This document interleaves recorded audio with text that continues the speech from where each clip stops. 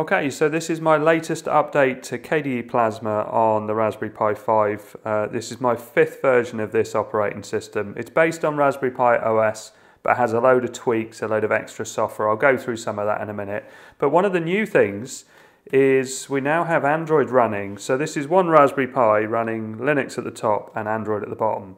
And uh, I've even got the Google Play Store here as well. If I want to run some games, I've got Crossy Road running on here. Here we go. So we launch that, hit play. You can see that that's all working absolutely fine and looking great on this touchscreen. So if I was to go to this screen, you can see the mouse and keyboard is working on this Elecrow laptop. If I drag up to the top and hold at the top, you can see all the open apps. So I've got files open at the moment, I've got terminal open, I've got the browser open, and I've got the Discover Store. So all of that is working really, really well. If I was to unplug this, it would basically send everything just to one screen. So this was actually being powered from the Elecrow laptop, as is the Raspberry Pi. So I can take out, oh, that's the fan touching.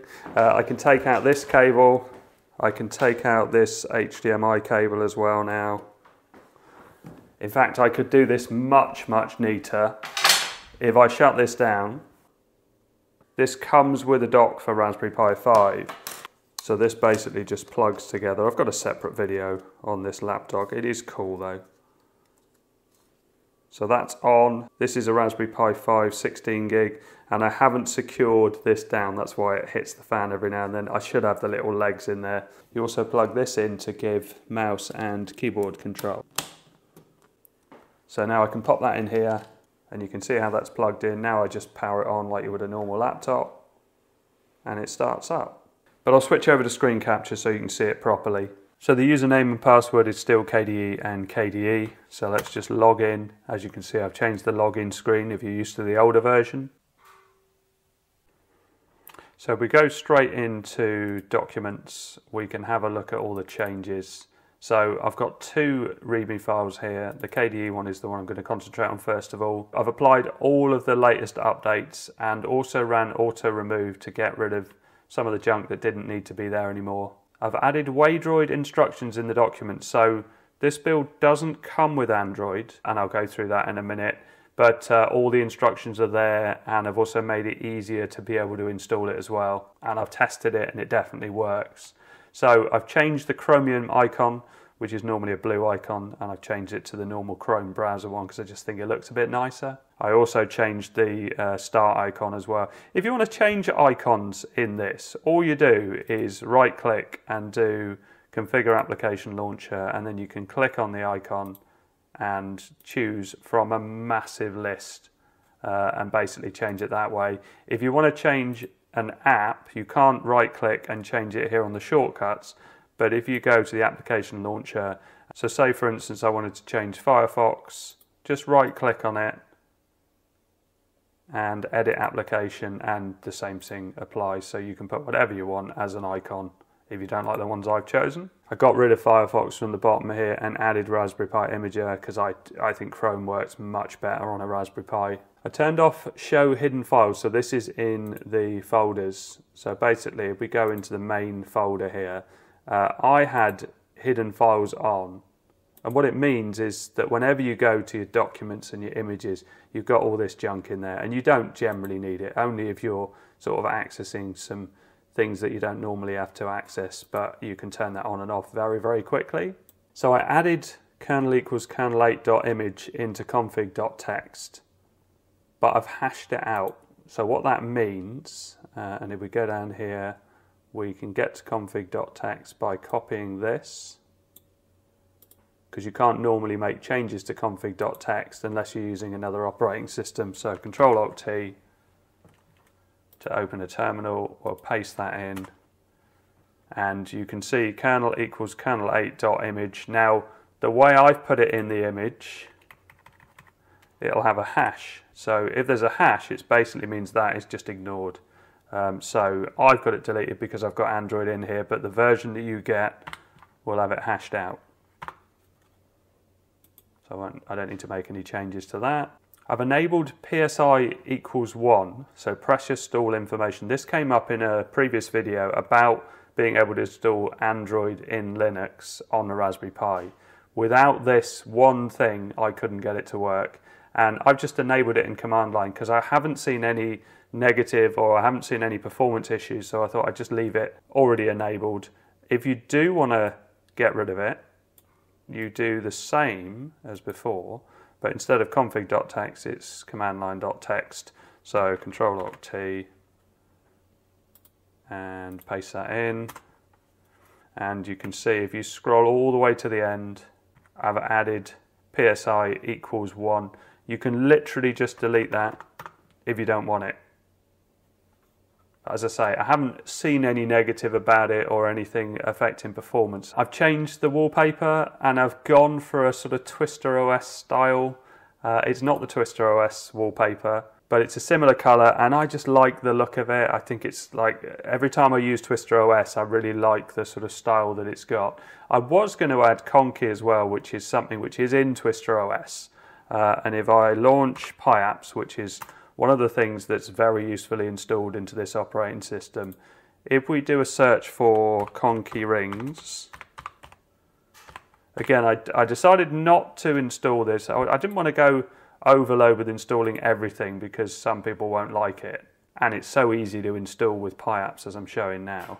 There you go. So that's shown up. It's not fully launched. There you go. Now it's launched. Having PiApps in here, have a look through and see if there are other things that you would want to install because it's so useful. There's all sorts in here.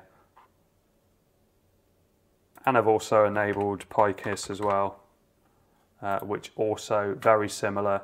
Uh, allows you to install games, apps, tweaks, all sorts of things. Very, very useful. I removed ImageMagick, which I think had a K on the end of it uh, spelt like that, um, because I so often press the Windows key and start typing Imager, and it, it used to pick ImageMagick quite a lot, uh, and so I never use it, so I thought I'd get rid of it. There is still an image viewer on there, which I think well seems better to me, which is Eye of MATE Image Viewer, which in fact let's use that because uh, if I go to my pictures folder,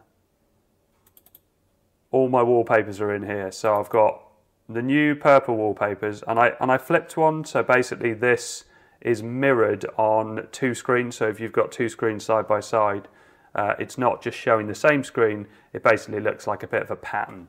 I think it looks a bit better. Uh, I've also put this Europe from space in there. Well that's been in there from previous builds because a lot of people have seen it in old videos and have asked about it. I've also got some AI wallpaper. Now I haven't changed any of these. So these are create with Microsoft Copilot on the iPad. They've changed the app now, and there isn't a way of getting a 16 by 9 image in the same sort of quality. So I'm going to have to look at another way of creating AI wallpapers. But I didn't use it as the default screen because I thought, again, the the sort of pink purple screen is probably just a bit more standard rather than this being a bit over the top for some people. But if you want to add them in, it's very, very easy to add any of these in. They're all created with AI. All you do is right click on the desktop configure desktop and wallpaper and just pick the one you want and hit apply. You can also get wallpapers from the KDE store as well. This is one of the reasons I love KDE Plasma is because it's super customizable. I love the window snapping, uh, so the way you can go full screen or you know in uh, one side or in one corner. It's just great. But also if you drag up and hold in the left top left hand corner, you can see all the open apps and you can switch straight back into the one you want. I've added a waste bin and a desktop icon to PCMan FM. Now there's several file managers in here and I've put it that PCMan FM is on the desktop. So basically when you click on that, it comes up. But if you were to press the Windows key and start typing files, you'll see there's several in there and you can choose to use any of the others if you want. One of the things that's not good about PCMan FM in this build is these icons don't show up. And I did have a look at it. I couldn't work out how to do it. There's obviously a way of doing it. Um, but I don't know if it's to do with the Windows icons that I use in this build. I really like the icons. I just think they look nice and modern and nice and bright. But you could swap to a different file manager. I like PCMan FM. It's the one that Raspberry Pi uses as standard and it works brilliantly with my NAS drive. It just shows up and allows me to connect to my drive. And I've also got another one here with YouTube backups as well. So yeah, it's, it's just super handy. And this download, so this is available to download through Google Drive. I'll put a link in the description. I've used XZ compression and compressed it a bit more, so it's actually a lot smaller than the previous standard. It's still something like 4.8 gig, but it's smaller. But if you go heavily smaller, then it means it takes a lot longer to write. Uh, and Raspberry Pi Imager uses XZ compression, so it, it can basically, you don't need to unzip it before you, you write the image. And if you want to know about previous versions, um, so I put in there for Compute Module 4, if you want to write an image to it, it's already set up for that. I've also added all of these apps. There's Sysbench if you want to do a benchmark test on there, you can just copy that into terminal and all the overclocking settings I mentioned before. This history-c at, at history-w, it basically gets rid of all the terminal history. So if you go to terminal and you press up, you can see the previous commands that you've put in. And rather than there be or any mistakes I've made or just, just to keep it tidier, I just delete all of that. So for the Android bit, I've put instructions in the documents folder, so install Android Waydroid. And what I'll do is I'll shut this down and I'll boot up with one that doesn't have Android in it. Because if I start typing Waydroid here, you can see that I can launch straight into it. And I did actually put in the documents how to stop Waydroid. So you can put this into terminal to stop it. Otherwise it keeps running. So if we go to terminal, and paste that in, Waydroid session stop. There you go. So let's shut this down and boot up from another one that I've used that doesn't have Android in it yet. By the way, I have a whole playlist on this build of KDE Plasma. If you don't want to download mine and you want to experiment with creating your own system and customize it and things like that, have a look at that playlist. It takes you through all the steps. But if you want the easy option, then you can just download my latest build and use that. So if we open up Documents and install Android Waydroid, we can close this down and open a terminal. First thing you're going to do is update, so just copy this first line and paste it in. It probably won't need anything. Yeah, it's all updated. Uh, and then make that change to config.txt. So copy and paste. And where it says kernel 8, you're getting rid of the hash, so you're enabling it.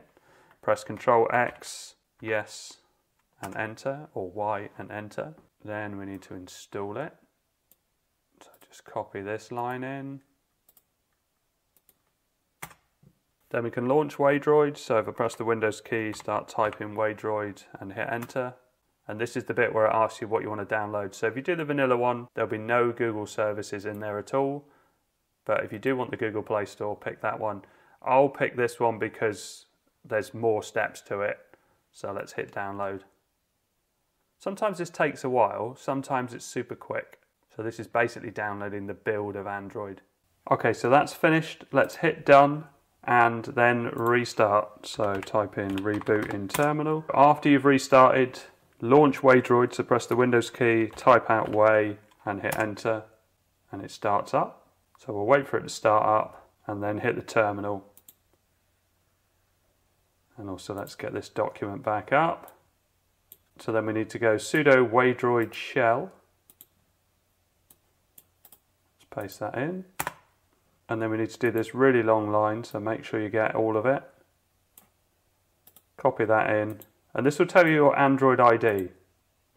So hit enter and it's come up with a really long number which is your Android ID so you need to copy that. And if we drag this back over we can see there's a website here. So copy this, this is to register. So launch the browser and copy that link in. And then you need to sign into your Google account I've got two-factor authentication, so mine will ask me an extra step. So I've got to put this number in on my second device. So yes, it's me, and number 13. And you can see that's picked that up already. So we need that number. So we go back to terminal, copy that number, and paste it in.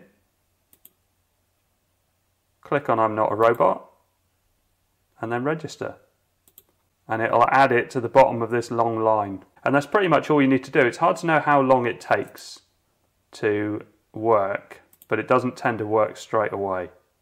So if I click on the Play Store now and try and sign in, okay, well that might have worked but straight away. Sometimes it definitely takes a lot longer. It's like it has worked. So I'm not going to bother backing up device data. Let's hit accept. Yeah, so as simple as that. I now have the Play Store. And if you have a look at my other KDE video, you'll see how well San Andreas ran on it. It, uh, it does seem to perform pretty much as well as standard Android on the Raspberry Pi, which is amazing. I really wouldn't have thought it was going to run as well as this. And it also doesn't seem to use loads of RAM either. So if I do htop, so we're using 1.83, I'm on an 8 gig Pi 5 now. It's not even maxing out a 4 gig Pi. If I open Chromium, and let's just do a search. Let's go with Hot UK Deals. Then we can go back to HTOP. So, oh no, let's launch the page and then go to back to HTOP and yeah, 2.21 gig out of 8 gig. So it really doesn't need loads at all. I mean, obviously it would depend on what games you're you're running or software. I did try LumiFusion, which is the editing software, but I still don't get any image on it anything I've tried on the Pi. This is the editing app I use on iPad.